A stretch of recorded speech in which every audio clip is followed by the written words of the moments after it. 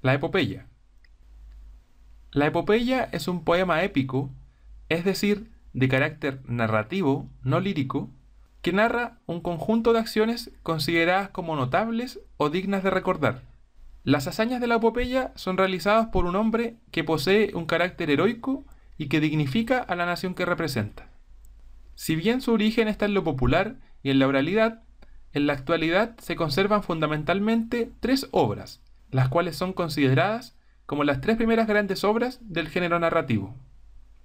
Estas son la Iliada y la Odisea, atribuidas al poeta griego Homero, y la Eneida, compuesta por el poeta latino Virgilio.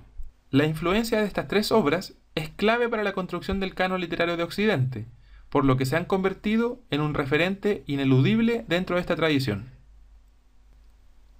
Las características más importantes de la epopeya son, en primer lugar, su origen oral.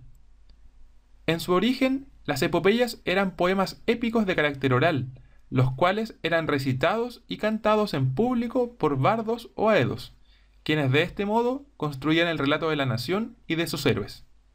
En segundo lugar, héroes y dioses. Debido a su cercanía con el ámbito mitológico, en la epopeya figuran tanto personajes humanos, de carácter heroico, como también seres divinos, quienes intervienen según sus intereses en los hechos del relato. En tercer lugar, su estructura.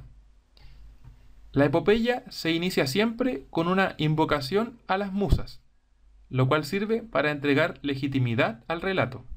En segundo lugar, se desarrolla la exposición de los acontecimientos a través de episodios. Y finalmente se presenta el desenlace de los hechos. Cuarta característica es el carácter nacional de la epopeya.